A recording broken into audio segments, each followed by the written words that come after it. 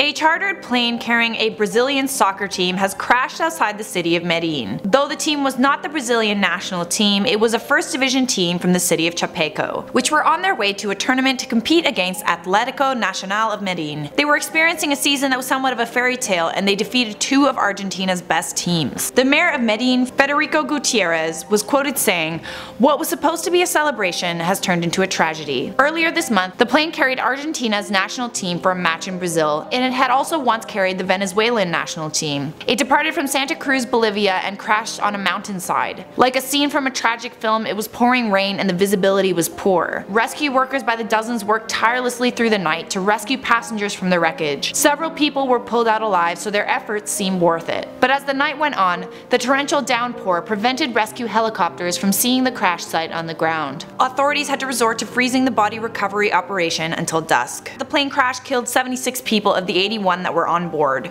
Six actually survived, but one died later from injuries in the hospital. Aviation authorities said that the plane suffered an electrical failure. The pilot declared an emergency, and the plane lost all radar contact at around 10 pm on Monday. But one of the survivors actually said that the plane ran out of fuel around 5 minutes before its expected landing. All soccer activities were suspended until further notice. From all of us here at IO, our hearts go out to the victims of the families and we wish the survivors a speedy recovery.